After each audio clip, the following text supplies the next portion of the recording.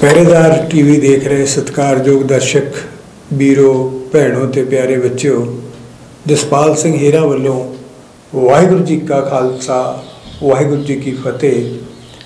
ਹਾਜ਼ਰ ਹਾਂ ਤੁਹਾਡੇ ਸਨਮੁਖ ਅੱਜ ਦਾ ਪ੍ਰੋਗਰਾਮ ਢਿੱਡ ਦੀ ਗੱਲ ਲੈ ਕੇ।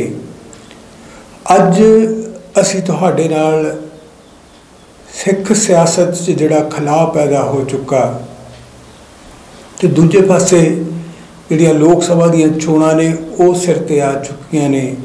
ਤੇ ਤੀਜੇ ਪਾਸੇ ਜਿਹੜਾ ਬੇਅਦਬੀ ਕਾਂਡ ਨੂੰ ਲੈ ਕੇ ਕੈਪਟਨ ਸਰਕਾਰ ਦੀ ਸੈੱਟ ਵੱਲੋਂ ਜਿਹੜੀਆਂ ਕਾਰਵਾਈਆਂ ਕੀਤੀਆਂ ਜਾਂਦੀਆਂ ਨੇ, ਉਹ ਤੇ ਅਖੀਰ ਦੇ ਵਿੱਚ ਅਸੀਂ ਗੱਲ ਕਰਾਂਗੇ ਕਿ ਪੰਥ ਦੇ ਵਿੱਚ ਇੱਕ ਦੀ ਦੁਹਾਈ ਆ ਜਿਹੜੀ ਉਹ ਦਿੱਤੀ ਜਾ ਰਹੀ ਆ, ਪਰੰਤੂ ਏਕੇ ਦੀ ਦੁਹਾਈ ਦੇ ਬਾਵਜੂਦ ਆਏ ਦਿਨ ਹਰ ਚੜ੍ਹਦੇ ਸੂਰਜ ਇੱਕ ਨਵਾਂ ਧੜਾ, ਇੱਕ ਨਵੀਂ ਜਥੇਬੰਦੀ, ਇੱਕ ਨਵੀਂ ਪਾਰਟੀ ਹੈ ਜਿਹੜੀ ਉਹ ਪੈਦਾ ਹੋ ਰਹੀ ਆ ਦੋ ਦੀਆਂ ਚਾਰ ਚਾਰ ਦੀਆਂ ਅੱਠ ਅੱਠ ਦੀਆਂ 16 ਸਿੱਖ ਜਥੇਬੰਦੀਆਂ ਨੇ ਜਿਹੜੀਆਂ ਉਹ ਸਾਡੇ ਸਾਹਮਣੇ ਆ ਰਹੀਆਂ ਨੇ। ਹਰ ਕੋਈ ਆਪੋ ਆਪਣੀ ਡਫਲੀ ਆ ਜਿਹੜੀ ਉਹ ਵਜਾਉਣ ਲੱਗਿਆ ਹੋਇਆ। ਪਰੰਤੂ ਉਸ ਡਫਲੀ ਦੇ ਵਿੱਚੋਂ ਭਾਵੇਂ ਏਕੇ ਦੀ ਆਵਾਜ਼ ਤਾਂ ਜ਼ਰੂਰ ਆਉਂਦੀ ਆ, ਪਰੰਤੂ ਏਕੇ ਦੇ ਲਈ ਕੋਈ ਕਦਮ ਨੇ ਜਿਹੜੇ ਉਹ ਅੱਗੇ ਵੱਧਦੇ ਦਿਖਾਈ ਨਹੀਂ ਦੇ ਰਹੇ। ਸਿਰਫ ਤੇ ਸਿਰਫ ਮੂੰਹ ਜਵਾਨੀ ਹੈ ਜਿਹੜੀ ਉਹ ਏਕੇ ਦੀ ਗੱਲ ਕੀਤੀ ਜਾਂਦੀ ਆ, ਜਦੋਂ ਕਿ ਹਕੀਕਤ ਵਿੱਚ ਸਾਰੀਆਂ ਧਿਰਾਂ ਨੇ ਜਿਹੜੀਆਂ ਉਹ ਏਕੇ ਤੋਂ ਦੂਰ ਜਾ ਰਹੀਆਂ ਨੇ। ਅਸੀਂ ਜਿਹੜੀ ਗੱਲ ਕਰ ਰਹੇ ਹਾਂ ਕਿ ਲੋਕ ਸਭਾ ਚੋਣਾਂ ਸਿਰ ਤੇ ਨੇ। ਠੀਕ ਹੈ ਕਿ ਪੰਜਾਬ ਦੀਆਂ 13 ਲੋਕ ਸਭਾ ਸੀਟਾਂ ਨੇ ਤੇ 13 ਲੋਕ ਸਭਾ ਸੀਟਾਂ ਨੇ ਜਿਹੜੀਆਂ ਉਹ ਦੇਸ਼ ਦੀ ਲੋਕ ਸਭਾ ਦੀਆਂ 542 ਸੀਟਾਂ ਨੇ 42 542 ਮੈਂਬਰ ਆ ਜਿਹੜੇ ਉੱਥੇ ਬੈਠਦੇ ਆ ਲੋਕ ਸਭਾ ਦੇ ਵਿੱਚ। ਉੱਥੇ 13 ਮੈਂਬਰਾਂ ਦੀ ਕੋਈ ਬਹੁਤੀ ਅਹਿਮੀਅਤ ਆ ਜਿਹੜੀ ਉਹ ਭਾਵੇਂ ਨਹੀਂ ਹੁੰਦੀ, ਨਹੀਂ ਬਣਦੀ। ਪਰੰਤੂ ਇਸ ਦੇ ਬਾਵਜੂਦ ਲੋਕ ਸਭਾ ਚੋਣਾਂ ਦੇ ਨਤੀਜੇ ਇਹ ਜ਼ਰੂਰ ਦੱਸਣਗੇ ਕਿ ਆਖਰ ਪੰਜਾਬ ਦੇ ਲੋਕ ਚਾਹੁੰਦੇ ਕੀ ਆ? ਪੰਜਾਬ ਦੇ ਲੋਕ ਨੇ ਜਿਹੜੇ ਉਹ ਖੜੇ ਕਿੱਥੇ ਨੇ? ਪੰਜਾਬ ਗੁਰੂਆਂ ਦੀ, ਪੀਰਾਂ ਦੀ ਧਰਤੀ ਆ, ਪੰਜਾਬ ਗੁਰੂਆਂ ਦੇ ਨਾਮ ਵਸਦਾ। ਸੋ ਪੰਜਾਬ ਦੀ ਧਰਤੀ ਤੋਂ ਜਿਹੜਾ ਇੱਕ ਸਨੇਹਾ ਜਾਊਗਾ, ਉਹਨੂੰ ਦੇਸ਼ ਦੇ ਲੋਕਾਂ ਨੇ ਵੀ ਸੁਣਨਾ ਵਾ, ਉਹਨੂੰ ਵਿਦੇਸ਼ 'ਚ ਬੈਠੇ ਸਾਡੇ ਪੰਜਾਬੀ ਵੀਰਾਂ ਨੇ ਵੀ ਸੁਣਨਾ ਵਾ ਉਸ ਨੂੰ ਦੁਨੀਆ ਨੇ ਆ ਜਿਹੜਾ ਉਹ ਵੀ ਦੇਖਣਾ ਹੈ। ਇਸ ਦੇ ਲਈ ਕਿਉਂਕਿ ਪੰਜਾਬ ਦੇ ਵਿੱਚ ਇਸ ਵੇਲੇ ਜੇ ਅਸੀਂ ਗੱਲ ਕਰੀਏ ਅੱਜ ਦੀ, ਆਉਣ ਵਾਲੇ ਦਿਨਾਂ ਦੇ ਵਿੱਚ ਕੋਈ ਉਲਟ ਫੇਰ ਹੋ ਜਾਵੇ, ਕੋਈ ਕੁਦਰਤ ਦਾ ਕ੍ਰਿਸ਼ਮਾ ਵਾਪਰ ਜਾਵੇ, ਅਸੀਂ ਉਸ ਗੱਲ ਨੂੰ ਛੱਡ ਕੇ ਅੱਜ ਦੀ ਤਰੀਕ ਦੇ ਵਿੱਚ ਜਿਹੜੀ ਸਥਿਤੀ ਆ, ਉਹਦੀ ਗੱਲ ਕਰਦੇ ਆ ਕਿ ਅੱਜ ਪੰਜਾਬ ਦੇ ਵਿੱਚ ਕੈਪਟਨ ਅਮਰਿੰਦਰ ਸਿੰਘ ਦੀ ਕਾਂਗਰਸ ਦੀ ਸਰਕਾਰ ਆ ਜਿਹੜੀ, ਉਹ ਤਕਰੀਬਨ ਸਵਾ ਦੋ ਸਾਲ ਉਹਨੂੰ ਹੋਣ ਜਾ ਰਹੇ ਆ, ਮਾਰਚ ਮਹੀਨੇ ਚ ਉਹਨੂੰ ਸਵਾ ਦੋ ਸਾਲ ਹੋ ਜਾਣੇ ਨੇ। ਉਸ ਕੈਪਟਨ ਅਮਰਿੰਦਰ ਸਿੰਘ ਦੀ ਸਰਕਾਰ ਨੂੰ ਸਮੁੱਚੇ ਪੰਜਾਬੀ, ਜਿਹਦੇ ਵਿੱਚ ਕਾਂਗਰਸ ਵਾਲੇ ਵੀ ਸ਼ਾਮਲ ਨੇ, ਜਿਨ੍ਹਾਂ ਦੀ ਸਰਕਾਰ ਆ, ਸਮੁੱਚੇ ਪੰਜਾਬੀ ਆ ਜਿਹੜੇ ਉਹ ਬਿਨਾਂ ਸ਼ੱਕ, ਬਿਨਾਂ ਸੋਚ, ਸਮਝ ਤੋਂ 1 ਮਿੰਟ ਦੇ ਵਿੱਚ ਜੇ ਅਸੀਂ ਉਹਨਾਂ ਨੂੰ ਕਹੀਏ ਕਿ ਕੈਪਟਨ ਸਰਕਾਰ ਬਾਰੇ ਤੁਹਾਡੀ ਟਿੱਪਣੀ ਕੀ ਆ, ਤੇ ਉਹ ਇੱਕ ਮਿੰਟ ਕਹਿਣਗੇ ਕਿ ਹੁਣ ਤੱਕ ਦੀ ਸਭ ਤੋਂ ਨਕੰਮੀ ਸਰਕਾਰ ਆ। ਸਰਕਾਰ ਨਾਮ ਦੀ ਚੀਜ਼ ਪੰਜਾਬ ਦੇ ਵਿੱਚ ਕੋਈ ਦਿਖਾਈ ਨਹੀਂ ਦੇ ਰਹੀ। ਪੰਜਾਬ ਦੇ ਵਿੱਚ ਮਹਿੰਗਾਈ ਵਧੀ ਆ, ਪੰਜਾਬ 'ਚ ਭ੍ਰਿਸ਼ਟਾਚਾਰ ਵਧਿਆ, ਪੰਜਾਬ 'ਚ ਬੇਰੁਜ਼ਗਾਰੀ ਵਧੀ ਆ ਪੰਜਾਬ 'ਚ ਨਸ਼ਾ ਜਿਹੜਾ ਉਸੇ ਤਰ੍ਹਾਂ ਉਹਦਾ ਜਿਹੜਾ ਦਰਿਆ ਵਾ ਉਹ ਵਗ ਰਿਹਾ। ਪੰਜਾਬ ਦੇ ਵਿੱਚ ਅਫਸਰਸ਼ਾਹੀ ਆ ਜਿਹੜੀ ਉਹ ਕਿਸੇ ਦੀ ਸੁਣਦੀ ਨਹੀਂ। ਅਫਸਰਾਂ ਦਾ ਜਿਹੜਾ ਦਫ਼ਤਰਾਂ ਦੇ ਵਿੱਚ, ਸਰਕਾਰੀ ਦਫ਼ਤਰਾਂ ਦੇ ਵਿੱਚ ਕੋਈ ਕੰਮਕਾਰ ਨਹੀਂ ਹੁੰਦਾ। ਪੈਸੇ ਤੋਂ ਬਿਨਾ ਕੋਈ ਭ੍ਰਿਸ਼ਟਾਚਾਰ ਤੋਂ ਬਿਨਾ ਕੋਈ ਸਰਕਾਰੀ ਕੰਮ ਨਹੀਂ ਹੁੰਦਾ। ਮੁਲਾਜ਼ਮ ਨੇ ਉਹ ਸੜਕਾਂ ਤੇ ਨੇ, ਕਿਸਾਨ ਨੇ, ਉਹ ਖੁਦਕੁਸ਼ੀਆਂ ਕਰ ਰਹੇ ਨੇ, ਜਵਾਨ ਨੇ ਜਿਹੜੇ ਉਹ ਵਿਦੇਸ਼ਾਂ ਵੱਲ ਭੱਜ ਰਹੇ ਨੇ। ਤੇ ਇਸ ਪੰਜਾਬ ਦੇ ਸਿਰ ਇਸ ਵੇਲੇ 2 ਲੱਖ 19 ਕਰੋੜ 219 ਲੱਖ ਕਰੋੜ ਰੁਪਈਆ ਜਿਹੜਾ ਉਹ ਕਰਜ਼ਾ। ਇਹ ਗੱਲ ਪੰਜਾਬ ਵਿਧਾਨ ਸਭਾ 'ਚ ਪੰਜਾਬ ਦਾ ਵਿੱਤ ਮੰਤਰੀ ਮੰਨ ਚੁੱਕਿਆ ਕਿ ਪੰਜਾਬ ਇਸ ਵੇਲੇ 219 ਲੱਖ ਕਰੋੜ ਰੁਪਏ ਦਾ ਕਰਜ਼ਾ ਹੀ ਆ। ਸੋ ਜਿਸ ਸੂਬੇ ਦੀ ਹਰ ਪੱਖੋਂ ਹਾਲਤ ਆ ਜਿਹੜੀ ਉਹ ਨਿਗਾਰ ਵੱਲ ਹੋਵੇ, ਆਰਥਿਕ ਗੱਲ ਕਰ ਲਈਏ, ਸਮਾਜਿਕ ਗੱਲ ਕਰ ਲਈਏ, ਰਾਜਨੀਤਿਕ ਗੱਲ ਕਰ ਲਈਏ, ਨੈਤਿਕ ਗੱਲ ਕਰ ਲਈਏ, ਸੱਭਿਆਚਾਰਕ ਗੱਲ ਕਰ ਲਈਏ, ਧਾਰਮਿਕ ਗੱਲ ਕਰ ਲਈਏ, ਸਿਹਤ ਦੀ ਗੱਲ ਕਰ ਲਈਏ, ਸਿੱਖਿਆ ਦੀ ਗੱਲ ਕਰ ਲਈਏ, ਕਿਸੇ ਵੀ ਖੇਤਰ ਦੀ ਅਸੀਂ ਜੇ ਗੱਲ ਕਰ ਲਈਏ, ਚਾਰੇ ਪਾਸੇ ਨਿਗਾਰ ਹੀ ਨਿਗਾਰਾ ਸੋ ਪੰਜਾਬ 'ਚ ਰਾਜ ਕਰ ਰਹੀ ਸਰਕਾਰ ਬਾਰੇ ਜੇ ਅਸੀਂ ਕਿਸੇ ਤੋਂ ਨੰਬਰ ਲੈਣੇ ਆ ਤੇ ਉਹ ਸਿੱਧਾ ਗੋਲ ਆਂਡਾ ਜਿਹੜਾ ਉਹ ਦੇਣ ਲਈ ਤਿਆਰ ਹੋਊਗਾ, ਗੋਲ ਆਂਡਾ ਜਿਹੜਾ ਉਹ ਦਿੱਤਾ ਜਾਊਗਾ। ਦੂਜੀ ਵਿਰੋਧੀ ਧਿਰ ਆ ਆਮ ਆਦਮੀ ਪਾਰਟੀ। ਆਮ ਆਦਮੀ ਪਾਰਟੀ ਖੇਰੂ ਖੇਰੂ ਹੋ ਗਈ। ਪੰਜਾਬ ਵਿੱਚ ਆਮ ਆਦਮੀ ਪਾਰਟੀ ਦੀ ਖੇਰੂ ਖੇਰੂ ਹੋਣ ਤੋਂ ਬਾਅਦ ਅਸੀਂ ਸਮਝਦੇ ਆ ਕਿ ਇੱਕ ਤਰ੍ਹਾਂ ਹੋਂਦ ਆ ਜਿਹੜੀ ਉਹ ਹੀ ਖਤਮ ਹੋਣ ਦੇ ਕਿਨਾਰੇ ਆ। ਤੇ ਫਿਰ ਤੀਜੀ ਧਿਰ ਕਿਹੜੀ ਆ? ਉਹ ਬਾਦਲ ਕੇ ਨੇ।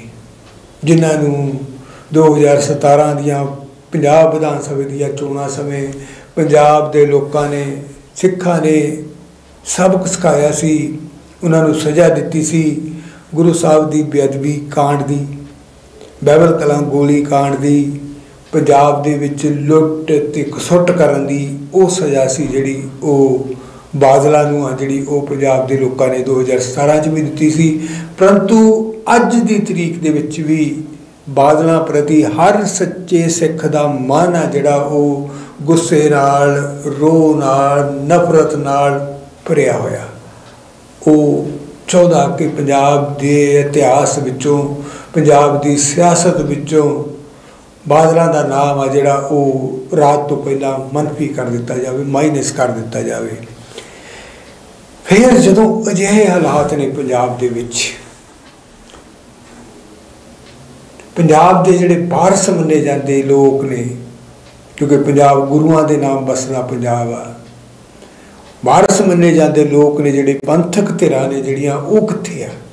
ਉਹ ਜਿਵੇਂ ਪਹਿਲਾਂ ਗੱਲ ਕੀਤੀ ਆ ਕਿ ਜਿਵੇਂ ਕਿਹਾ ਜਾਂਦਾ ਕਿ 12 ਪੂਰਬੀਏ 22 ਚੁੱਲ੍ਹੇ, ਆਏ ਦਿਨ ਆ ਜਿਹੜੀ ਉਹ ਨਵੀਂ ਪੰਥਕ ਜਥੇਬੰਦੀ ਆ, ਉਹ ਖੜੀ ਹੋ ਰਹੀ ਆ 8 2 ਤੋਂ 4 4 ਤੋਂ 8 8 ਤੋਂ 16 ਜਥੇਬੰਦੀਆਂ ਨੇ ਜਿਹੜੀਆਂ ਉਹ ਪੰਥ ਦੀਆਂ ਸਿਆਸਤ ਦੇ ਵਿੱਚ ਆ ਰਹੀਆਂ ਨੇ। ਹਰ ਕੋਈ ਦਾਵਾ ਕਰਦਾ ਕਿ ਮੈਂ ਪੰਥ ਦਾ ਠੇਕੇਦਾਰ ਹਾਂ।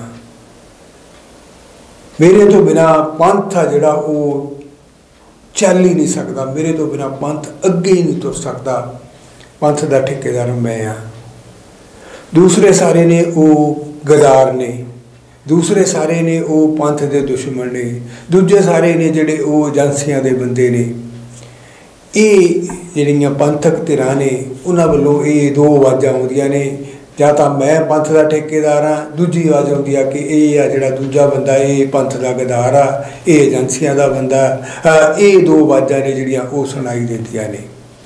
ਸੋ ਜਿਹੜੀ ਮੈਂ ਪਹਿਲਾਂ ਗੱਲ ਕੀਤੀ ਆ ਕਿ ਜੇ ਅਸੀਂ ਅੱਜ ਦੀ ਤਰੀਕ ਦੇ ਵਿੱਚ ਪੰਜਾਬ ਦੀ ਜਿਹੜੀ ਸਿਆਸਤ ਆ, ਜਿਹੜੀ ਚੋਣ ਸਿਆਸਤ ਆ, ਜੇ ਅਸੀਂ ਉਹਦਾ ਸਰਵੇਖਣ ਕਰਾਉਣਾ ਹੋਵੇ ਤੇ ਬਿਨਾਂ ਸ਼ੱਕ ਪੰਜਾਬ ਦੀਆਂ ਜਿਹੜੀਆਂ ਲੋਕ ਸਭਾ ਚੋਣਾਂ ਹੋਣ ਜਾ ਰਹੀਆਂ ਨੇ, ਉਹਨਾਂ ਦੇ ਵਿੱਚ ਕਾਂਗਰਸ ਪਾਰਟੀ ਆ ਜਿਹੜੀ ਉਹ 10 ਤੋਂ 12 ਸੀਟਾਂ ਵੀ ਜਿੱਤ ਸਕਦੀ ਆ ਤੇ ਕਾਲੀ ਭਾਜਪਾ ਗੱਠਜੋੜ ਆ ਜਿਹੜਾ ਇਹ ਇਹ ਵੀ ਇੱਕ ਦੀ ਸੀਟ ਆ ਜਿਹੜੀ ਉਹ ਜਿੱਤ ਸਕਦਾ। ਜੇ ਸੀਟ ਨਹੀਂ ਵੀ ਜਿੱਤਦਾ ਤਾਂ ਕਾਲੀ ਭਾਜਪਾ ਗੱਠਜੋੜ ਆ ਜਿਹੜਾ ਉਹ ਪੰਜਾਬ ਦੇ ਵਿੱਚੋਂ ਘੱਟੋ ਘੱਟ ਉਹਦੇ ਖਾਤੇ 'ਚ 20 ਲੱਖ ਵੋਟ ਆ ਜਿਹੜੀ ਉਹ ਜ਼ਰੂਰ ਚਾਹੂਗੀ। ਸੋ ਇੱਕ ਪਾਸੇ ਉਹ ਪਾਰਟੀ ਜਿਹਦੀ ਸਰਕਾਰ ਨੂੰ ਪੰਜਾਬ ਦੇ ਲੋਕ ਨੇ ਜਿਹੜੇ ਉਹ ਸਭ ਤੋਂ ਵੱਧ ਨਕਮੀ ਸਰਕਾਰ ਕਹਿ ਰਹੇ ਨੇ, ਉਹ ਸਾਰੀਆਂ ਸੀਟਾਂ ਤੇ ਹੁੰਜਾ ਫੇਰਨ ਦੀ ਸਥਿਤੀ 'ਚ ਦਿਖਾਈ ਦੇ ਰਹੀ ਆ ਤੇ ਦੂਜੇ ਪਾਸੇ ਉਹ ਪਾਰਟੀ ਜਿਹਨੂੰ ਸਿੱਖ ਨੇ ਜਿਹੜੇ ਉਹ ਕੌਮ ਦਾ ਦੁਸ਼ਮਣ ਮੰਨਦੇ ਨੇ, ਕੌਮ ਦਾ ਗਦਾਰ ਮੰਨਦੇ ਨੇ, ਜਿਹਨੂੰ ਮਤਲਬ ਸਿੱਖ ਨੇ ਜਿਹੜੇ ਉਹ ਪੰਜਾਬ ਦੀ ਧਰਤੀ ਤੇ ਬਰਦਾਸ਼ਤ ਕਰਨ ਲਈ ਤਿਆਰ ਨਹੀਂ, ਉਹ ਪਾਰਟੀ ਆ ਜਿਹੜੀ ਉਹ 20 ਲੱਖ ਤੋਂ ਵੱਧ ਵੋਟਾਂ ਲੈ ਕੇ ਜਾਣ ਦੀ ਸਮਰੱਥਾ 'ਚ ਦਿਖਾਈ ਦੇ ਰਹੀ ਆ। ਤੇ ਫਿਰ ਦੁਨੀਆ ਨੂੰ ਕੀ ਜਵਾਬ ਦਿੱਤਾ ਜਾਊਗਾ? ਜਦੋਂ ਪੰਜਾਬ ਦੇ ਲੋਕ ਸਭਾ ਦੇ ਚੋਣ ਨਤੀਜੇ ਆਉਣਗੇ, ਤੇ ਲੋਕਾਂ ਨੂੰ ਕੀ ਜਵਾਬ ਦਿੱਤਾ ਜਾਊਗਾ ਕਿ ਆਖਰ ਪੰਜਾਬ ਦੇ ਲੋਕਾਂ ਨੇ ਇਹ ਫੈਸਲਾ ਕਿਉਂ ਲਿਆ, ਕਿਵੇਂ ਲਿਆ? ਇਸ ਦਾ ਜਵਾਬ ਕੌਣ ਦੇਊਗਾ? ਸੋ ਇਸ ਜਵਾਬ ਦੀ ਜਿਹੜੀ ਸਾਰੀ ਜ਼ਿੰਮੇਵਾਰੀ ਆ, ਜਵਾਬਦੇਹੀ ਆ, ਉਹ ਉਹਨਾਂ ਪੰਥਕ ਧਿਰਾਂ ਦੀ ਬਣਦੀ ਆ, ਜਿਨ੍ਹਾਂ ਪੰਥਕ ਧਿਰਾਂ ਤੇ ਪੰਜਾਬ ਦੇ ਸਿੱਖ ਆ ਜਿਹੜੇ ਉਹਨਾਂ ਨੇ ਭਰੋਸਾ ਕੀਤਾ, ਉਹਨਾਂ ਤੇ ਵਿਸ਼ਵਾਸ ਕਰਦੇ ਨੇ। ਬਰਗਾੜੀ ਮੋਰਚਾ ਜਿਹੜਾ ਉਹਦੇ ਚ ਲੱਖਾਂ ਸਿੱਖਾਂ ਨੇ ਭਾਗ ਲਿਆ ਤਨ ਮਨ ਧਨ ਦੇ ਨਾਲ ਉਸ ਮੋਰਚੇ ਦੀ ਸਫਲਤਾ ਲਈ ਕੰਮ ਕੀਤਾ। ਸੋ ਉਹ ਲੋਕ ਅੱਜ ਬਰਗਾੜੀ ਮੋਰਚੇ ਵਾਲੇ ਲੋਕ ਜਿਹੜੇ, ਉਹ ਅੱਜ ਜਦੋਂ ਗੱਲ ਕਰਦੇ ਨੇ ਕਿ ਵੋਟਾਂ ਨੇ ਜਿਹੜੀਆਂ, ਉਹ ਬਰਗਾੜੀ ਮੋਰਚੇ ਦਾ ਦੂਜਾ ਪੜਾਅ। ਕਿ ਜਿਹੜਾ ਇਹ ਖਾਦਸ਼ਾ ਜਿਹੜੀ ਚਿੰਤਾ ਅਸੀਂ ਪ੍ਰਗਟਾ ਰਹੇ ਹਾਂ ਤੁਹਾਡੇ ਸਾਹਮਣੇ, ਕਿ ਜਦੋਂ ਲੋਕ ਸਭਾ ਚੋਣਾਂ ਦਾ ਨਤੀਜਾ ਆਊਗਾ ਤੇ ਪੰਥਕ ਧਿਰਾਂ ਨੇ ਜਿਹੜੀਆਂ ਉਹਨਾਂ ਦੀ ਝੋਲੀ ਆ ਜਿਹੜੀ ਉਹ ਵੋਟਾਂ ਵੱਲੋਂ ਖਾਲੀ ਰਹੂਗੀ। ਤੇ ਫਿਰ ਕੀ ਇਹ ਨਤੀਜਾ ਕੱਢਿਆ ਜਾਊਗਾ ਕਿ ਸਿੱਖ ਪੰਥ ਨੇ ਬਰਗਾੜੀ ਮੋਰਚੇ ਦੇ ਦੂਜੇ ਪੜਾਅ ਨੂੰ ਰੱਦ ਕਰ ਦਿੱਤਾ, ਨਕਾਰ ਦਿੱਤਾ? ਬਰਗਾੜੀ ਮੋਰਚੇ ਦੀਆਂ ਮੰਗਾਂ ਨੂੰ ਨਕਾਰ ਦਿੱਤਾ? ਕੀ ਇਹ ਮੰਨਿਆ ਜਾਊਗਾ ਕਿ ਸਿੱਖਾਂ ਨੇ ਗੁਰੂ ਸਾਹਿਬ ਦੀ ਬੇਅਦਬੀ ਜਿਹੜੇ ਸਿੱਖ ਨੇ ਉਹ ਗੁਰੂ ਸਾਹਿਬ ਦੀ ਬੇਅਦਬੀ ਨੂੰ ਵੀ ਭੁੱਲ ਗਏ ਨੇ?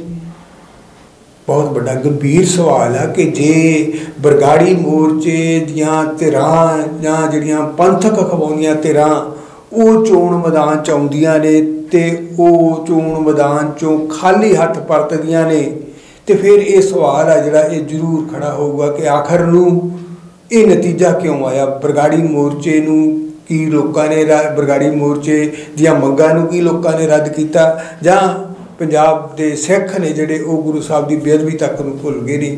ਸੋ ਇਹ ਆਉਣ ਵਾਲਾ ਸਮਾਂ ਜਿਹੜਾ ਜਿਸ ਦਿਨ ਲੋਕ ਸਭਾ ਦੇ ਨਤੀਜੇ ਸਾਡੇ ਸਾਹਮਣੇ ਆਉਣੇ ਆ, ਉਸ ਦਿਨ ਇਸ ਸਵਾਲ ਨੇ ਵੀ ਸਾਡੇ ਸਾਹਮਣੇ ਆਉਣਾ।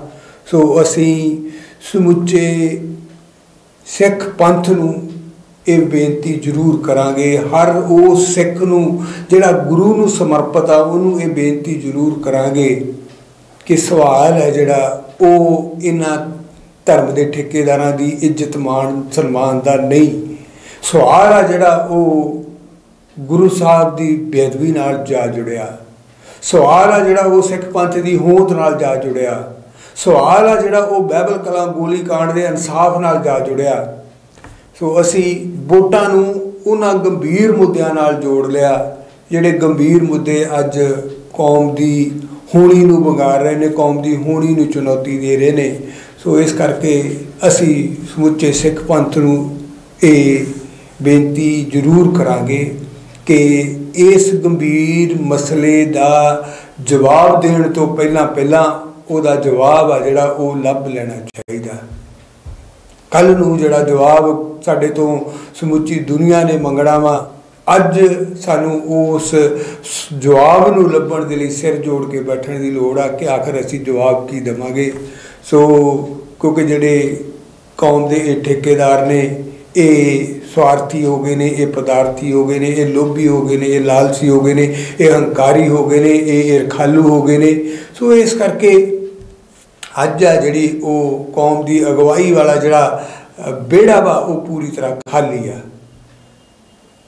ਜੇ ਸਿੱਖ ਪੰਥ ਆ ਜਿਹੜਾ, ਉਹ ਜਾਗੂਗਾ। ਪਿੰਡ ਪਿੰਡ ਪੰਥਕ ਪਹਿਰੇਦਾਰਾਂ ਦੀ ਪੰਚਾਇਤ ਆ ਜਿਹੜੀ, ਉਹ ਹੋਂਦ ਵਿੱਚ ਆਊਗੀ, ਜਿਹੜੇ ਗੁਰੂ ਨੂੰ ਸਮਰਪਿਤ ਸਿੱਖਾਂ ਦੀ ਪੰਚਾਇਤ ਪਿੰਡ ਪਿੰਡ ਹੋਵੇ, ਇਕੱਠੇ ਬੈਠ ਕੇ ਫੈਸਲਾ ਕਰਨ ਕਿ ਆਖਰ ਨੂੰ ਕੀ ਹੋਣਾ ਚਾਹੀਦਾ। ਜਿਹੜੇ ਜਿਹੜੇ ਸਵਾਲ ਸਾਡੇ ਸਾਹਮਣੇ ਨੇ, ਉਹਨਾਂ ਦੇ ਜਵਾਬ ਆ ਜਿਹੜੇ ਉਹ ਪਿੰਡ ਪਿੰਡ ਸਿੱਖ ਸੰਗਤ ਆ ਜਿਹੜੀ ਉਹ ਜੁੜ ਕੇ ਲੱਭੇ ਤੇ ਉਹ ਜਵਾਬ ਲੱਭਣ ਤੋਂ ਬਾਅਦ ਸਿੱਖ ਸੰਗਤ ਆ ਜਿਹੜੀ ਉਸ ਪਾਸੇ ਤੁਰਨ ਦੀ ਕਿਰਪਾਲਤਾ ਕਰੇ। ਆਗੂਆਂ ਤੋਂ ਜਿਹੜੀ ਅਸੀਂ ਹਮੇਸ਼ਾ ਇੱਕ ਝੂਠੀ ਉਮੀਦ ਲਾ ਕੇ ਬੈਠਦੇ ਆ ਉਸ ਉਮੀਦ ਨੂੰ ਹੁਣ ਛੱਡਣ ਦਾ ਸਮਾਂ ਆ ਗਿਆ। ਕੌਮ ਵੱਲੋਂ ਫੈਸਲੇ ਲੈਣ ਦਾ ਸਮਾਂ ਆ ਗਿਆ। ਗੁਰੂ ਨੂੰ ਸਮਰਪਿਤ ਹੋਣ ਦਾ ਸਮਾਂ ਆ ਗਿਆ। ਗੁਰੂ ਦੀ ਮੱਤ ਲੈਣ ਦਾ ਸਮਾਂ ਆ ਗਿਆ। ਅਸੀਂ ਮਨ ਮਨਮਤ ਦੇ ਨਾਲ ਬਹੁਤ ਕੁਝ ਗਵਾ ਲਿਆ।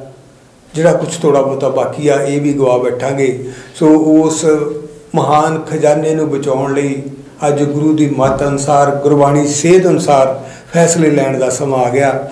ਭਾਵੇਂ ਕਿ ਲੋਕ ਸਭਾ ਚੋਣਾਂ ਨੇ ਜਿਹੜੀਆਂ ਉਹਨਾਂ ਦਾ ਧਰਮ ਨਾਲ, ਉਹਨਾਂ ਦਾ ਸਿੱਖੀ ਨਾਲ ਕੋਈ ਸੰਬੰਧ ਨਹੀਂ। ਇਹਦੇ ਵਿੱਚ ਕੋਈ ਸ਼ੱਕ ਨਹੀਂ ਕਿ ਉਹਨਾਂ ਦਾ ਕੋਈ ਸਬੰਧ ਨਹੀਂ। ਪਰੰਤੂ ਕਿਉਂਕਿ ਜਿਸ ਦੇਸ਼ ਦੇ ਵਿੱਚ ਅਸੀਂ ਰਹਿ ਰਹੇ ਹਾਂ, ਉਸ ਦੇਸ਼ ਦੇ ਵਿੱਚ ਵੋਟਾਂ ਦੀ ਇੱਕ ਆਪਣੀ ਤਾਕਤ ਆ, ਵੋਟਾਂ ਦੀ ਇੱਕ ਆਪਣੀ ਕਹਾਣੀ ਆ, ਜਿਹਦੇ ਤੋਂ ਅਸੀਂ ਬਾਹਰ ਨਹੀਂ ਜਾ ਸਕਦੇ। ਸੋ ਉਹ ਕਹਾਣੀ ਆ ਜਿਹੜੀ ਉਹਦਾ ਸਾਨੂੰ ਹਿੱਸਾ ਵੀ ਬਣਨਾ ਪੈਣਾ ਵਾ। ਉਸ ਹਿੱਸੇ ਦੇ ਪਾਤਰ ਬਣ ਕੇ ਸਾਨੂੰ ਉਹ ਜਵਾਬ ਨੇ ਜਿਹੜੇ ਉਸ ਕਹਾਣੀ ਦੇ, ਉਹ ਵੀ ਦੇਣੇ ਪੈਣੇ ਨੇ। ਸੋ ਅੱਜ ਅਸੀਂ ਪਹਿਰੇਦਾਰ ਟੀਵੀ ਰਾਹੀਂ, ਤੁਹਾਡੇ ਰਾਹੀਂ ਸਮੁੱਚੇ ਸਿੱਖ ਪੰਥ ਅੱਗੇ ਜ਼ਰੂਰ ਬੇਨਤੀ ਕਰਾਂਗੇ ਕਿ ਕੱਲ ਨੂੰ ਜਿਹੜੇ ਸਵਾਲ ਸਾਡੇ ਸਾਹਮਣੇ ਆਉਣੇ ਆ, ਤੁਹਾਡੇ ਸਾਹਮਣੇ ਆਉਣੇ ਆ, ਕੌਮ ਦੇ ਸਾਹਮਣੇ ਆਉਣੇ ਆ, ਅੱਜ ਸਮਾਂ ਕਿ ਅਸੀਂ ਉਹਨਾਂ ਸਵਾਲਾਂ ਦੇ ਜਵਾਬ ਨੇ ਜਿਹੜੇ ਉਹ ਲੱਭਣ ਵੱਲ ਤੁਰੀਏ ਕਿ ਆਖਰ ਨੂੰ ਲੋਕ ਸਭਾ ਚੋਣਾਂ ਦੇ ਨਤੀਜਿਆਂ ਤੋਂ ਬਾਅਦ ਅਸੀਂ ਉਹਨਾਂ ਨਤੀਜਿਆਂ ਦਾ ਵਿਸ਼ਲੇਸ਼ਣ ਕਿਵੇਂ ਕਰਨਾ ਹੈ? ਦੂਜੇ ਪਾਸੇ ਜਿਹੜੀਆਂ ਸਾਡੇ ਕੋਲ ਖਬਰਾਂ ਆ ਰਹੀਆਂ ਨੇ, ਉਹ ਬਰਗਾੜੀ ਮੋਰਚੇ ਦੇ ਵਿੱਚ ਜਿਹੜੇ ਆ, ਮੰਗਾ ਸੀ, ਜਿਹੜੀਆਂ ਤਿੰਨੋਂ ਮੰਗਾ ਸੀ, ਜਿਨ੍ਹਾਂ ਦੇ ਵਿੱਚ ਬੇਅਦਬੀ ਕਾਂਡ ਦੇ ਦੋਸ਼ੀਆਂ ਦੀ ਗ੍ਰਿਫਤਾਰੀ ਸੀ, ਜਿਨ੍ਹਾਂ 'ਚ ਬਹਿਬਲ ਕਲਾਂ ਗੋਲੀ ਕਾਂਡ ਦੇ ਦੋਸ਼ੀਆਂ ਦੀ ਗ੍ਰਿਫਤਾਰੀ ਸੀ, ਜਿਨ੍ਹਾਂ 'ਚ ਬੰਦੀ ਸਿੰਘਾਂ ਦੀ ਰਿਹਾਈ ਦੀ ਮੰਗ ਸੀ। ਸੋ ਉਸ ਸੰਬੰਧੀ ਜਿਹੜੀ ਸੈੱਟ ਕੈਪਟਨ ਅਮਰਿੰਦਰ ਸਿੰਘ ਦੀ ਸਰਕਾਰ ਵੱਲੋਂ ਬਣਾਈ ਗਈ ਆ, ਉਸ ਸੈੱਟ ਵੱਲੋਂ ਆਈਜੀ ਉਮਰਾ ਨੰਗਲ ਦੀ ਜਿਹੜੀ ਗ੍ਰਿਫਤਾਰੀ ਹੋਈ ਆ, ਉਸ ਗ੍ਰਿਫਤਾਰੀ ਤੋਂ ਬਾਅਦ ਸੈੱਟ ਨੇ ਕੁਝ ਬੜੇ ਹੈਰਾਨੀਜਨਕ ਜਿਹੜੇ ਖੁਲਾਸੇ ਨੇ, ਉਹ ਸਾਡੇ ਸਾਹਮਣੇ ਲੈ ਕੇ ਆਂਦੇ ਨੇ। ਇੱਕ ਤਾਂ ਇਹ ਆ ਕਿ ਜਿਹੜਾ ਪੁਲਿਸ ਨੇ ਇੱਕ ਬਹਾਨਾ ਬਣਾਇਆ ਸੀ ਕਿ ਭੀੜ ਵੱਲੋਂ ਪੁਲਿਸ ਤੇ ਗੋਲੀ ਚਲਾਈ ਗਈ ਸੀ, ਪੁਲਿਸ ਦੀ ਜੀਪ ਤੇ ਗੋਲੀ ਚਲਾਈ ਗਈ ਸੀ। ਉਹ ਗੋਲੀ ਜਿਸ ਬੰਦੂਕ ਰਤ ਤੋਂ ਚੱਲੀ ਸੀ, ਉਹ ਗੋਲੀਆਂ ਜਿਸ ਬੰਦੂਕ ਤੋਂ ਚੱਲੀਆਂ ਸੀ, ਉਸ ਬੰਦੂਕ ਦੀ ਸ਼ਨਾਖਤ ਹੋ ਗਈ ਆ। ਜਿਹੜਾ ਵਿਕਰਮਜੀਤ ਸਿੰਘ ਐਸਪੀ ਸੀ ਉਸ ਦਾ ਜਿਹੜਾ ਖਾਸ ਬੰਦਾ ਸੀ, ਉਹਦੀ ਉਹ ਰਾਈਫਲ ਆ, ਉਹਦੇ ਤੋਂ ਬਰਾਮਦ ਹੋ ਗਈ ਆ। ਉਸ ਵੇਲੇ ਜਿਹੜੀ ਸੀਸੀਟੀਵੀ ਫੁਟੇਜ ਸੀ ਕੋਟਕਪੂਰੇ ਦੇ ਵਿੱਚ, ਉਹਦੇ ਨਾਲ ਜਿਹੜੀ ਛੇੜਛਾੜ ਕੀਤੀ ਗਈ ਆ, ਉਹ ਵੀ ਸਾਹਮਣੇ ਆ ਗਈ ਆ ਕਿ ਬਿਲਕੁਲ ਉਹ ਸੀਸੀਟੀਵੀ ਫੁਟੇਜ ਆ ਜਿਹੜੀ ਉਹ ਇਹ ਦੱਸਦੀ ਆ ਕਿ ਸ਼ਾਂਤਮਈ ਢੰਗ ਦੇ ਨਾਲ ਬੈਠੀਆਂ ਸੰਗਤਾਂ ਤੇ ਸਤਨਾਮ ਵਾਹਿਗੁਰੂ ਦਾ ਜਾਪ ਕਰਦੀਆਂ ਸੰਗਤਾਂ ਤੇ ਗੋਲੀ ਚਲਾਈ। ਜਦੋਂ ਕਿ ਜਿਹੜੀ ਪੁਲਿਸ ਵੱਲੋਂ ਸੀਸੀਟੀਵੀ ਫੁਟੇਜ ਜਿਹੜੀ ਦਿਖਾਈ ਗਈ ਸੀ ਉਸ ਵੇਲੇ, ਉਹਦੇ ਵਿੱਚ ਇਹ ਦਿਖਾਇਆ ਗਿਆ ਸੀ ਕਿ ਸਿੱਖ ਸੰਗਤਾਂ ਸੀ ਜਿਹੜੀਆਂ ਉਹਨਾਂ ਵੱਲੋਂ ਪੁਲਿਸ ਤੇ ਹਮਲਾ ਕੀਤਾ ਗਿਆ ਸੀ। ਸੋ ਇਹ ਸਾਰਾ ਕੁਝ ਸਾਹਮਣੇ ਆਉਣ ਤੋਂ ਬਾਅਦ ਹੀ ਜਿਹੜਾ ਫਰੀਦਕੋਟ ਦੀ ਅਦਾਲਤ ਆ, ਉਹਨੇ ਉਹ ਜਿਹੜਾ ਆਈਜੀ ਉਮਰਾ ਨਗਲਾ, ਉਹਦਾ 3 ਦਿਨ ਦਾ ਪੁਲਿਸ ਰਿਮਾਂਡ ਆ ਜਿਹੜਾ ਉਹ ਹੋਰ ਵਧਾਇਆ। ਸੋ ਇਸ ਰਿਮਾਂਡ ਦੇ ਨਾਲ ਦੇ ਨਾਲ ਇੱਕ ਜਿਹੜਾ ਉਸ ਵੇਲੇ ਦਾ ਡੀਜੀ ਸੁਮੇਧ ਸੈਣੀ ਸੀ ਉਹਨੇ ਆਪਣੀ ਚਮੜੀ ਬਚਾਉਣ ਦੇ ਲਈ ਇੱਕ ਵੀਡੀਓ ਵਾਇਰਲ ਕੀਤੀ ਆ, ਇੱਕ ਇੰਟਰਵਿਊ ਦਿੱਤੀ ਆ ਉਹਨੇ ਪੱਤਰਕਾਰ ਨੂੰ ਤੇ ਉਹ ਵੀਡੀਓ ਆ ਜਿਹੜੀ ਉਹ ਵਾਇਰਲ ਕੀਤੀ ਆ। ਉਹਦੇ 'ਚ ਉਹ ਬਾਦਲਾਂ ਦਾ ਪੂਰੀ ਤਰ੍ਹਾਂ ਬਚਾਅ ਕਰਦਾ ਦਿਖਾਈ ਦੇ ਰਿਹਾ। ਉਹਦੇ 'ਚ ਉਹ ਆਪਣੀ ਤੇ ਪੁਲਿਸ ਦੀ ਚਮੜੀ ਬਚਾਉਣ ਦੇ ਲਈ ਅੱਤਵਾਦ, ਵੱਖਵਾਦ, ਖਾਲਿਸਤਾਨ ਨੂੰ ਵੀ ਵਿੱਚ ਆ ਜਿਹੜਾ ਉਹ ਕਸੋੜ ਰਿਹਾ, ਬੁਰੀ ਤਰ੍ਹਾਂ ਉਹਨੂੰ ਕਸੋੜ ਰਿਹਾ। ਤੇ ਇਹ ਗੱਲ ਆ ਜਿਹੜੀ ਉਹ ਬਾਰ-ਬਾਰ ਕਰਦਾ ਕਿ ਜਿਹੜੇ ਉੱਥੇ ਉਸ ਸਮੇਂ 40 ਪੁਲਿਸ ਮੁਲਾਜ਼ਮ ਜ਼ਖਮੀ ਹੋਏ ਸੀ, ਉਹਨਾਂ ਦਾ ਕੀ ਕੀਤਾ? ਉਹਨਾਂ ਬਾਰੇ ਕੀ ਕੀਤਾ? ਸੋ ਸੁਮੇਧ ਸੈਣੀ ਵੱਲੋਂ ਜਿਸ ਤਰ੍ਹਾਂ ਪੂਰੇ ਭਰੋਸੇ ਦੇ ਨਾਲ ਉਹ ਵੀਡੀਓ ਵਾਇਰਲ ਕੀਤੀ ਗਈ ਆ, ਉਹ ਬੜੀ ਡੂੰਘੀ ਸਾਜ਼ਿਸ਼ ਦਾ ਸੰਕੇਤ ਆ ਜਿਹੜਾ ਉਹ ਕਰਦੀ ਆ। ਕਿ ਇਹ ਵੀਡੀਓ ਹੈ ਜਿਹੜੀ ਇਹ ਵਾਇਰਲ ਕੀਤੀ ਗਈ ਵੀਡੀਓ ਹੈ ਜਿਹੜੀ ਇੰਟਰਵਿਊ ਦਿੱਤੀ ਗਈ ਹੈ ਜਿਹੜੀ ਖਾਸ ਤੌਰ ਤੇ ਇਸ ਮੌਕੇ ਤੇ ਉਹਦੇ ਪਿੱਛੇ ਬਹੁਤ ਵੱਡੇ ਕਾਰਨ ਨੇ। ਉਹ ਸੈੱਟ ਨੂੰ ਪ੍ਰਭਾਵਿਤ ਵੀ ਕਰਨਾ, ਉਹਨੇ ਅਦਾਲਤਾਂ ਨੂੰ ਪ੍ਰਭਾਵਿਤ ਵੀ ਕਰਨਾ, ਉਹਨੇ ਏਜੰਸੀਆਂ ਨੂੰ ਪ੍ਰਭਾਵਿਤ ਵੀ ਕਰਨਾ ਤੇ ਜਿਸ ਇਸ਼ਾਰੇ ਤੇ ਇਹ ਇੰਟਰਵਿਊ ਦਿੱਤੀ ਗਈ ਹੈ, ਉਸ ਇਸ਼ਾਰੇ ਨੇ ਇਹਨਾਂ ਦੀ ਰੱਖਿਆ ਵੀ ਆ ਜਿਹੜੀ ਉਹ ਵੀ ਕਰਨੀ ਆ। ਸੋ ਆਉਣ ਵਾਲੇ ਦਿਨਾਂ ਦੇ ਵਿੱਚ ਕੱਲ ਨੂੰ ਜਿਹੜਾ ਸੁਮੇਧ ਸੈਣੀ ਆ, ਉਹਨੇ ਸੈੱਟ ਅੱਗੇ ਪੇਸ਼ ਹੋਣਾ। ਤੇ ਉਸ ਤੋਂ ਬਾਅਦ ਜਿਹੜੀ ਉਹ ਸੈੱਟ ਕੀ ਕਾਰਵਾਈ ਕਰਦੀ ਆ, ਉਹ ਵੀ ਸਾਡੇ ਸਾਹਮਣੇ ਆਉ ਪਰੰਤੂ ਸੈਣੀ ਵੱਲੋਂ ਜਿਹੜੀ ਵੀਡੀਓ ਵਾਇਰਲ ਕੀਤੀ ਗਈ ਆ, ਉਹ ਇਸ ਗੱਲ ਦੀ ਕਹਾਣੀ ਆ ਜਿਹੜੀ, ਉਹ ਅਗਾਊਂ ਕਹਾਣੀ ਆ ਜਿਹੜੀ ਉਹਨੂੰ ਜ਼ਰੂਰ ਬਿਆਨ ਕਰਦੀ ਆ ਕਿ ਪਰਦੇ ਦੇ ਪਿੱਛੇ ਬਹੁਤ ਕੁਝ ਹੋ ਰਿਹਾ। ਸਾਹਮਣੇ ਜੋ ਕੁਝ ਆ ਰਿਹਾ, ਉਸ ਤੋਂ ਇਲਾਵਾ ਪਰਦੇ ਦੇ ਪਿੱਛੇ ਹੈ ਜਿਹੜਾ, ਉਹ ਬਹੁਤ ਕੁਝ ਹੋ ਰਿਹਾ ਤੇ ਉਹ ਪਰਦੇ ਦੇ ਪਿੱਛੇ ਜਿਹੜੀ ਅਸੀਂ ਗੱਲ ਕਰਦੇ ਹਾਂ ਕਿ ਹੱਥ ਨੇ ਜਿਹੜੇ, ਕਾਨੂੰਨ ਦੇ ਹੱਥ ਨੇ ਜਿਹੜੇ, ਉਹ ਸੈਣੀ ਤੱਕ ਪਹੁੰਚਣਗੇ, ਸੈਣੀ ਤੋਂ ਬਾਅਦ ਸੁਖਵੀਰ ਤੱਕ ਪਹੁੰਚਣਗੇ ਤੇ ਸੁਖਵੀਰ ਤੋਂ ਬਾਅਦ ਵੱਡੇ ਬਾਦਲ ਤੱਕ ਪਹੁੰਚਣਗੇ। ਸੋ ਇਹ ਸਾਰਾ ਕੁਝ ਆ ਜਿਹੜਾ ਜਿਹੜਾ ਅਸੀਂ ਸੋਚ ਰਹੇ ਹਾਂ, ਸ਼ਾਇਦ ਨਾ ਹੋਵੇ। ਕਿਉਂਕਿ ਜਿਹੜੀਆਂ ਖੁਫੀਆ ਏਜੰਸੀਆਂ ਨੇ, ਜਿਹੜਾ ਮੋਦੀ ਦਾ ਸੁਰੱਖਿਆ ਸਲਾਹਕਾਰ ਅਜੀਤ ਡੋਪਾਲ ਹੈ ਜਿਹੜਾ ਉਹਨਾਂ ਵੱਲੋਂ ਜਿਹੜੀ ਕਹਾਣੀ ਘੜੀ ਜਾ ਰਹੀ ਹੈ, ਜਿਹੜੀ ਸਾਡੇ ਸਾਹਮਣੇ ਆਉਣ ਵਾਲੇ ਦਿਨਾਂ 'ਚ ਨਸ਼ਰ ਹੋਊਗੀ, ਉਹ ਪੂਰਨ ਰੂਪ ਦੇ ਵਿੱਚ ਇਹਨਾਂ ਸਾਰਿਆਂ ਨੂੰ ਬਚਾਉਣ ਵਾਲੇ ਪਾਸੇ ਤੁਰਨ ਵਾਲੀ ਗੱਲ ਆ ਜਿਹੜੀ ਉਹ ਸਾਡੇ ਸਾਹਮਣੇ ਆਉਣ ਦੀ ਗੱਲ ਆ ਤੇ ਆਉਣ ਵਾਲੇ ਦਿਨਾਂ ਦੇ ਵਿੱਚ ਜਿਵੇਂ ਅਸੀਂ ਪਹਿਲਾਂ ਵੀ ਗੱਲ ਕੀਤੀ ਆ ਇੱਕ ਪਾਸੇ ਕਸ਼ਮੀਰ ਦਾ ਮੁੱਦਾ ਜਿਹੜਾ ਮੋਦੀ ਆ ਜਿਹੜਾ ਉਹ ਲਗਾਤਾਰ ਇਸ਼ਾਰੇ ਦੇ ਰਿਹਾ। ਕਿ ਹੁਣ ਸਮਾਂ ਆ ਗਿਆ ਸਬਕ ਸਿਖਾਉਣ ਦਾ ਹੁਣ ਸਮਾਂ ਆ ਗਿਆ ਸਾਫ਼ ਕਰਨ ਦਾ। ਅਹ, ਤੇ ਦੂਜੇ ਪਾਸੇ ਅਮਰੀਕਾ ਦਾ ਰਾਸ਼ਟਰਪਤੀ ਆ ਜਿਹੜਾ ਡੋਨਾਲਡ ਟਰੰਪ ਉਹਨੇ ਵੀ ਇੱਕ ਬੜਾ ਗੰਭੀਰ ਇਸ਼ਾਰਾ ਜਿਹੜਾ ਉਹ ਦਿੱਤਾ ਕਿ ਦੋਨਾਂ ਦੇਸ਼ਾਂ ਦੇ ਵਿੱਚ ਸਥਿਤੀ ਆ ਜਿਹੜੀ ਉਹ ਬੇਹੱਦ ਤਣਾਅਪੂਰਨ ਆ। ਤੇ ਉਹਨੇ ਇਹ ਵੀ ਇਸ਼ਾਰਾ ਦਿੱਤਾ ਕਿ ਭਾਰਤ ਕੋਈ ਬੜਾ ਮਾਰੂ ਹਮਲਾ ਕਰਨ ਦੀ ਯੋਜਨਾ ਉਹ ਉਲੀਕ ਰਿਹਾ।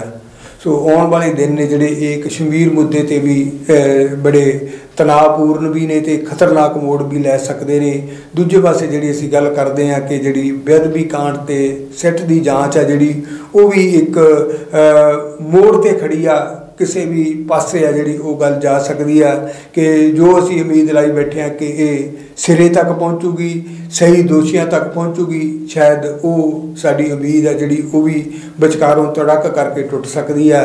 ਤੇ ਤੀਜੇ ਪਾਸੇ ਜਿਹੜਾ ਪੰਜਾਬ ਦੇ ਵਿੱਚ ਸਿੱਖ ਸਿਆਸਤ ਕੇਂਦਰ ਬਿੰਦੂ ਹੋਣਾ ਚਾਹੀਦੀ ਸੀ, ਉਹ ਕਿਤੇ ਨੇ ਦਿਖਾਈ ਨਹੀਂ ਦੇ ਰਹੀ। ਤੇ ਜਿਵੇਂ ਮੈਂ ਗੱਲ ਕੀਤੀ ਆ ਕਿ ਲੋਕ ਸਭਾ ਚੋਣਾਂ ਦੇ ਵਿੱਚ ਜਿਹੜੀ ਲੜਾਈ ਆ, ਉਹ ਕਾਂਗਰਸ ਤੇ ਬਾਦਲਕਿਆਂ ਦੇ ਵਿਚਕਾਰ ਹੋਣੀਆਂ, ਬਾਕੀ ਜਿਹੜੀਆਂ ਧਿਰਾਂ ਨੇ ਜਿਹੜੀਆਂ ਉਹ ਸਾਈਡ ਲਾਈਨ ਤੇ ਹੋਣੀਆਂ ਨੇ ਤੇ ਪੰਥਕ ਧਿਰਾਂ ਉਹਦੇ ਵਿੱਚੋਂ ਕੀ ਖੱਟ ਕੇ ਲਿਆਉਂਦੀਆਂ ਨੇ, ਉਹ ਵੀ ਅੱਜ ਦੀ ਤਰੀਕ 'ਚ ਸਾਡੇ ਸਾਹਮਣੇ ਆ। ਸੋ ਇਹ ਸਾਰਾ ਕੁਝ ਬੜਾ ਗੰਭੀਰ ਜਿਹੜਾ ਆਉਣ ਵਾਲੇ ਦਿਨਾਂ 'ਚ ਜਿਹਦਾ ਅਸੀਂ ਸਾਹਮਣਾ ਕਰਨਾ। ਸੋ ਜਿਵੇਂ ਮੈਂ ਤੁਹਾਨੂੰ ਬੇਨਤੀ ਕੀਤੀ ਆ ਕਿ ਇਸ ਸੰਬੰਧੀ ਤੁਸੀਂ ਆਪਣੇ ਜਾਗਰੂਕ ਸਿੱਖ ਸੰਗਤਾਂ ਦੇ ਰਾਹੀਂ ਆਪਣੇ ਵਿਚਾਰ ਨੇ ਜਿਹੜੇ ਉਹ ਸਾਡੇ ਤੱਕ ਵੀ ਪਹੁੰਚਦੇ ਕਰੋ ਤੇ ਕੌਮ ਆ ਜਿਹੜੀ ਉਹਨੂੰ ਜਗਾਉਣ ਦੀ ਕੋਸ਼ਿਸ਼ ਵੀ ਕਰੋ ਕਿ ਆਖਰ ਨੂੰ ਲੋਕ ਸਭਾ ਚੋਣਾਂ ਤੋਂ ਬਾਅਦ ਅਸੀਂ ਕੀ ਜਵਾਬ ਦੇਣਾ। ਸੋ ਇਹ ਸਵਾਲ ਤੁਹਾਡੇ ਸਾਹਮਣੇ ਛੱਡਦਾ ਹੋਇਆ, ਕੱਲ ਫਿਰ ਤੁਹਾਡੇ ਸਨਮੁਖ ਕਿਸੇ ਹੋਰ ਗੰਭੀਰ ਮੁੱਦੇ ਤੇ ਦੁੱਖ ਦੀ ਰਗ, ਢਿੱਡ ਦੀ ਗੱਲ ਆ ਜਿਹੜੀ ਉਹ ਲੈ ਕੇ ਹਾਜ਼ਰ ਹੋਵਾਂਗੇ। ਉਦੋਂ ਤੱਕ ਲਈ ਦਿਓ ਇਜਾਜ਼ਤ। ਵਾਹਿਗੁਰੂ ਜੀ ਕਾ ਖਾਲਸਾ ਵਾਹਿਗੁਰੂ ਜੀ ਕੀ ਫਤਿਹ।